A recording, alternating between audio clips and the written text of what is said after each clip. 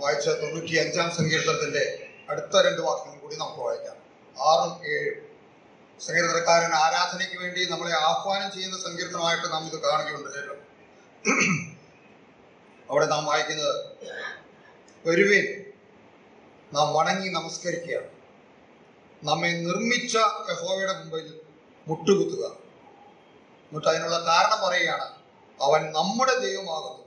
നാമോ അവൻ മേയിക്കുന്ന ജനവും അവന്റെ കൈക്കിലെ ആടുകളും തന്നെ. രാവിലെ നാം ദൈവത്തെ ആരാധിപ്പാൻ കടന്നു വന്നിരിക്കുന്നതിന്റെ കാരണം എന്താണെന്ന് സങ്കീർത്തനക്കാരൻ പറയുകയാണ്. ഒന്നാമത് അവൻ നമ്മുടെ ദൈവമാണ്. നമ്മളിവിടെ കടന്നു വരുമ്പോൾ നമ്മൾ ഓർക്കുന്നുണ്ട് നമ്മൾ ആരായിരുന്നു എന്നുള്ള കാര്യം അല്ലേ? നാം ഒരിക്കൽ ദൈവമില്ലാത്തവരായിരുന്നു എഫ് എസ് ലേഖനത്തിൽ നാം അതാണ് വായിക്കുന്നത്. ഈ ലോകത്തിൽ പ്രത്യാശയില്ലാത്തവരായിരുന്നു എന്ന് മാത്രമല്ല ഈ ലോകത്തിൽ നാം ദൈവമേ ഇല്ലാത്തവരായിരുന്നു അങ്ങനത്തെ അവസ്ഥയിൽ നിന്ന് അവൻ നമ്മുടെ ദൈവമായി തീർന്നു അത് മാത്രമല്ല അവൻ മേയ്ക്കുന്ന ജനം അവന്റെ ജനമായി തീർന്നു അവന്റെ കൈക്കിലെ ആടുകളുമായി നാം തീർന്നു ഇന്ന് നമുക്ക് ലഭിച്ചിരിക്കുന്ന പദവികൾ എന്തൊക്കെയാണെന്ന് നാം അറിയുമ്പോഴാണ് നമ്മുടെ ദൈവത്തിന്റെ വലുപ്പവും മഹത്വവും നമുക്ക് ദർശിക്കാനായിട്ട് കഴിയും ഒന്ന് പത്രോസ് രണ്ടാം അധ്യായത്തിൽ നാം ആരായിരുന്നു എന്ന അപ്പോസ്തലനായ പത്രോസ് നമ്മളെ ഓർപ്പിക്കുന്നുണ്ട്. രണ്ടാം അധ്യായത്തിന്റെ അവസാനത്തെ വാക്യം നിങ്ങൾ തെറ്റി വീഴുന്ന ആടുകളെ പോലെയായിരുന്നു നമ്മൾ തെറ്റിപ്പോയിരുന്നു. നമ്മൾ ഈ ദൈവത്തെ വിട്ട് ഈ ഇടയനെ വിട്ട് പോയവരായിരുന്നു. അവനോട് ശത്രുക്കളായി തീർന്നവരായിരുന്നു അവന്റെ സെല്ലേക്ക് കടന്നു വരുവാൻ നമുക്ക് യാതൊരു പ്രാഗൽഭ്യമില്ലാത്തവരായിരുന്നു. കാരണം നാം പാപം ചെയ്ത് ദൈവത്തോട് ശത്രുതയുള്ളവരായി തീർന്നു എന്ന് മാത്രമല്ല ദൈവത്തെ വേണ്ട എന്ന് പറഞ്ഞ ദൈവമേ ഇല്ലാത്തവരായി തീർന്നവരാണ് നാം. ആ അവസ്ഥയിൽ നിന്നാണ് നമ്മളെ ഈ അധ്യക്ഷനായെങ്കിലേക്ക് മടക്കി കൊണ്ടുവന്നത് അതിന് കൊടുത്ത വില എന്തായിരുന്നു എന്ന് അതിന് മുമ്പത്തെ വാക്യങ്ങളിൽ പത്രോസ് നമ്മളെ ഓർപ്പിക്കുന്നത്. ഇപ്പോൾ പ്രിയ മകൻ നമ്മളെ ഓർപ്പിക്കുകയുണ്ടായി നമ്മളെ വീണ്ടെടുത്ത വീണ്ടെടുപ്പിന്റെ വില എത്ര വലുതാണ്. അത് പൊന്നുവെള്ളി കൊണ്ട് സാധിച്ചതല്ല. കെടുന്ന ബീജത്താലല്ല കെടാത്തതിനാൽ ജീവനുള്ളതും നിലനിൽക്കുന്നതുമായ ദൈവവചനത്താലാണ് നാം കേട്ടിരിക്കുന്നത്. ആ വചനം ജഡമായി ഈ ഭൂമിയിലേക്ക് കടന്നു വന്ന കാര്യമാണ് ഇന്ന് രാവിലെ നാം ഈ മേശയിൽ കൂടെ ഓർക്കുന്നത്.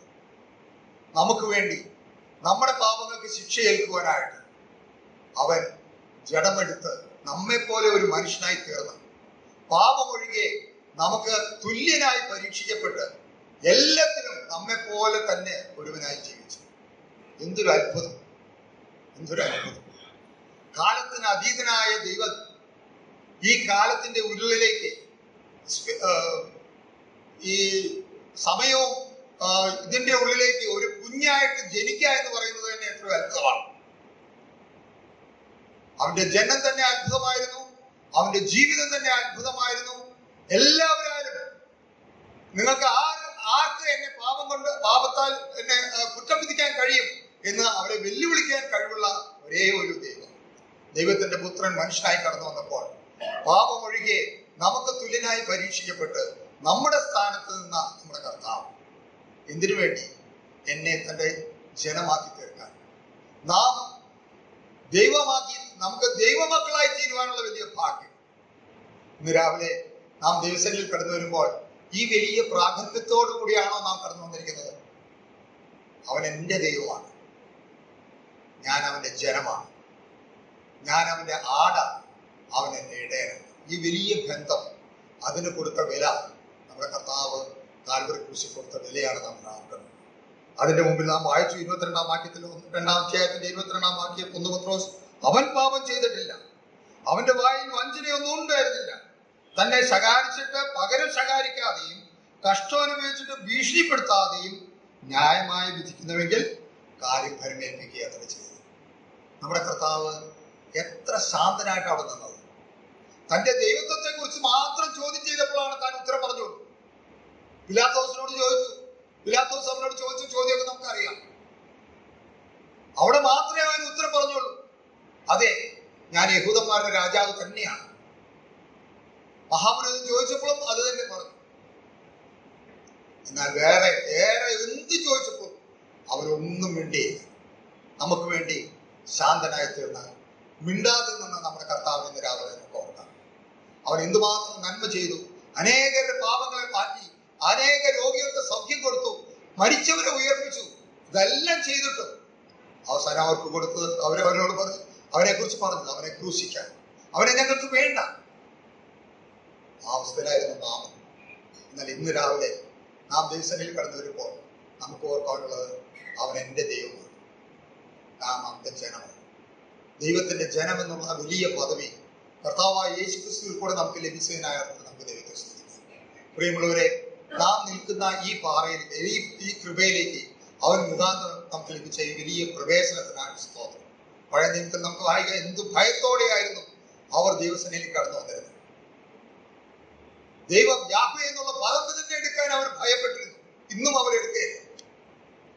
അത്രമാത്രം വിശുദ്ധനായ ദൈവത്തിന്റെ മക്കൾ എന്നുള്ള പദവിയോടുകൂടെ കൃപാസനത്തിലേക്ക് കടന്നു വരുവാൻ അവൻ തന്റെ ദേഹം എന്ന തിരശ്ശീൽ കൂടെ നമുക്ക് പ്രതീക്ഷിച്ച ജീവനുള്ള പുതുവഴിയായിട്ട് നമുക്ക് അവനെ സ്തുതിക്കാം.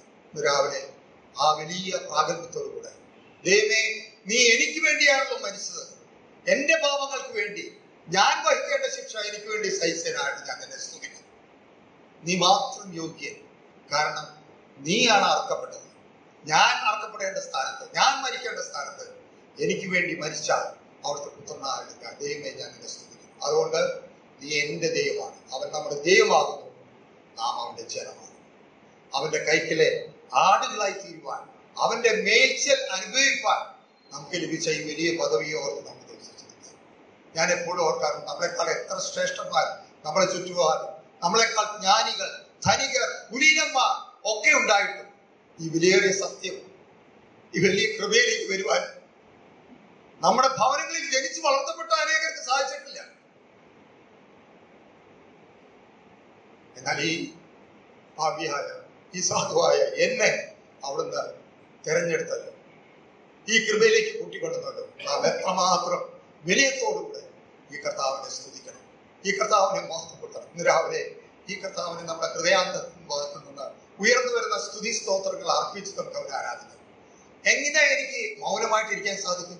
ഇത്ര വലിയ പദവി എനിക്ക് തന്ന ഇത്ര വലിയ കൃപ എന്നിൽ ചൊരിഞ്ഞ കർത്താവനെ ഞാൻ മൗനമായിരിക്കാതെ അവന് സ്തുതി പാടേണ്ടത് അവനെന്റെ കണ്ണീരിനെ കണ്ണിനീരിൽ നിന്നും കാലിനെ വീഴ്ചയിൽ നിന്നും മരണത്തിൽ നിന്നും വിടിവെച്ചു. നിത്യജീവൻ എനിക്ക് തന്നു. ദൈവത്തിന്റെ മക്കളാക്കി അതുകൊണ്ട് പറയുകയാണ് കം വർഷിപ്പ് വരുവിൻ നമുക്ക് അവന്റെ മുമ്പാകെ നമസ്കരിച്ച് അവനെ ആരാധിക്കാം. വണങ്ങി അവനെ നമസ്കരിക്കാം. കാരണം ഈ സവക്രിയെ അവൻ നമ്മെ നിർമ്മിച്ചു.